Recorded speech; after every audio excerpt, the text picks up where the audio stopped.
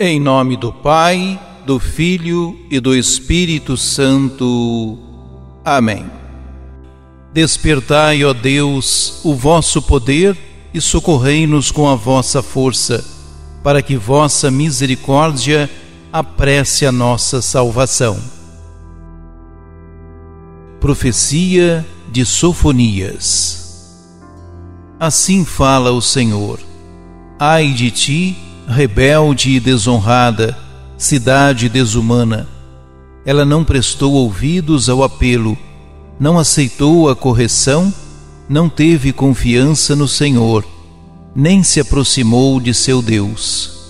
Darei aos povos, nesse tempo, lábios purificados, para que todos invoquem o nome do Senhor e lhe prestem culto em união de esforços desde além rios da Etiópia, os que me adoram, os dispersos do meu povo, me trarão suas oferendas.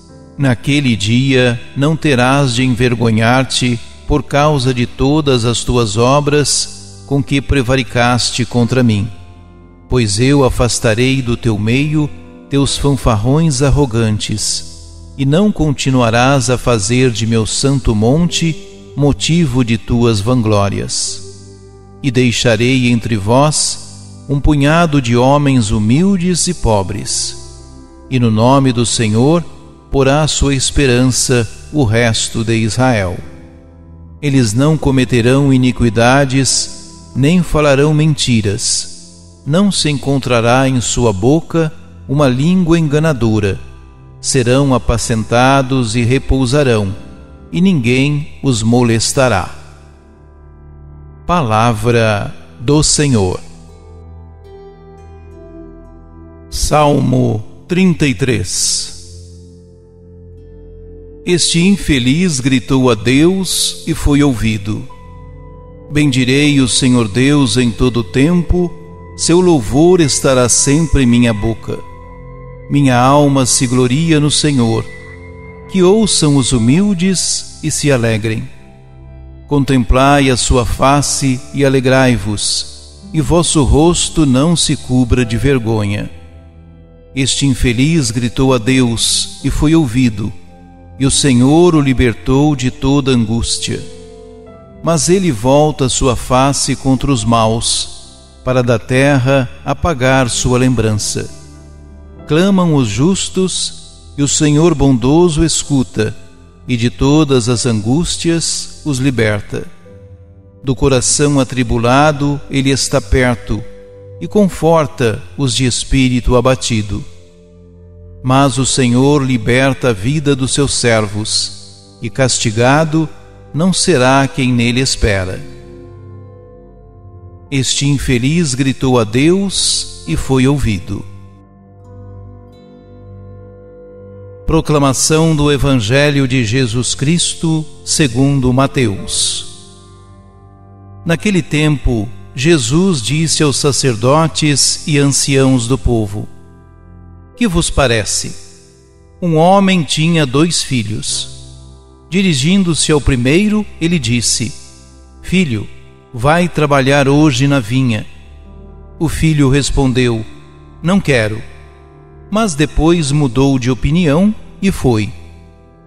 O pai dirigiu-se ao outro filho e disse a mesma coisa. Este respondeu: Sim, senhor, eu vou. Mas não foi. Qual dos dois fez a vontade do pai? Os sumos sacerdotes e os anciãos do povo responderam: O primeiro. Então Jesus lhes disse: Em verdade vos digo que os publicanos e as prostitutas vos precedem no reino de Deus. Porque João veio até vós num caminho de justiça, e vós não acreditastes nele.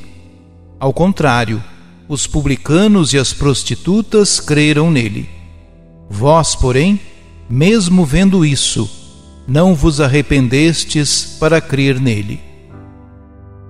Palavra da salvação. Os chefes do povo como já ficou demonstrado, não têm qualquer intenção de escutar a Jesus. Por isso, o mesmo Jesus lhes desmascara a incoerência e os provoca, afirmando que os publicanos e as prostitutas os hão de preceder no reino de Deus. A parábola dos dois filhos, que se compreende no quadro vétero testamentário da necessidade da justiça, isto é, de uma fé que leva à realização da vontade de Deus na vida do dia a dia.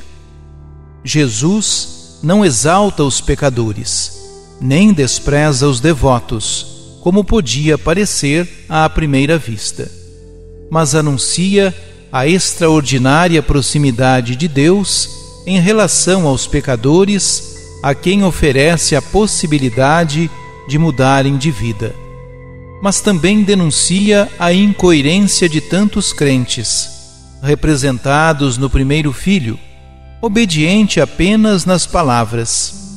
O contraste entre pública e prostitutas e os homens da religião não é tanto uma condenação dos segundos, quanto um derradeiro convite à sua conversão.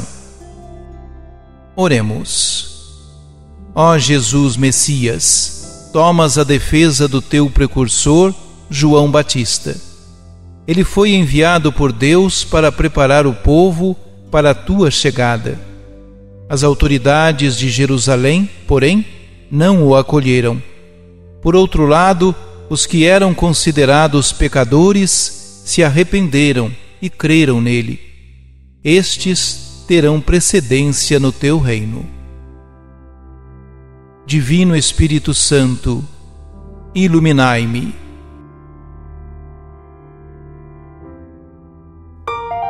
Ajude-nos a evangelizar.